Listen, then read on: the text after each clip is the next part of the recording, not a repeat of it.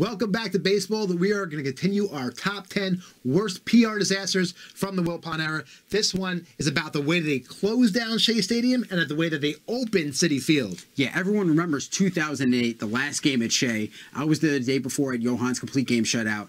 This guy was there for the last game at Shea, and for some reason, the Wilpons think it's a good idea to take a chance and wait for the end of the game to have a celebration. Let me tell you, before the game, it was a raucous crowd. We were into it, we were loving it, and things were looking good good.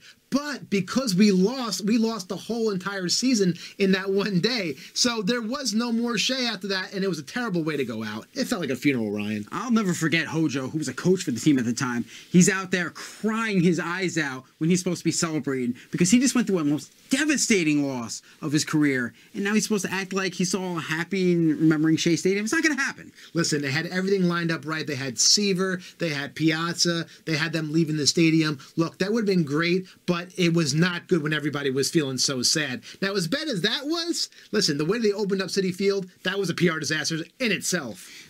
You have a team that's history is orange and blue. You have a team that loves to celebrate its history, but what do they do? They celebrate the Giants' history. They celebrate the Dodgers' history. Mm-hmm. They celebrate everything but the Mets. Right. More so the Dodgers. I mean, let's face it, it looks like Ebbets Field. It still does. But when you walked in there, you had the Jackie Robinson Rotunda, and that's all well and good, but you had no Mets history going on there. So fans were definitely obviously upset, and that was a PR disaster. But look, they finally fixed things in 2012. Not only did they bring back the orange and blue on the walls, but they brought the fences in too. That's a good thing because the fans didn't feel at home at first. The players didn't feel home at first. David Wright goes to right center field naturally. You make right center field naturally the deepest part of the ballpark. Good move, guys. Right. But now it feels like home. We finally feel like we can embrace it, and Citi Field embraces us, and this team embraces us. And now that we have Steve Cohen, who's embracing the fans, you know, things are looking up now. Things are going to change, and you could feel it. So we have five more coming to you, five more PR disasters.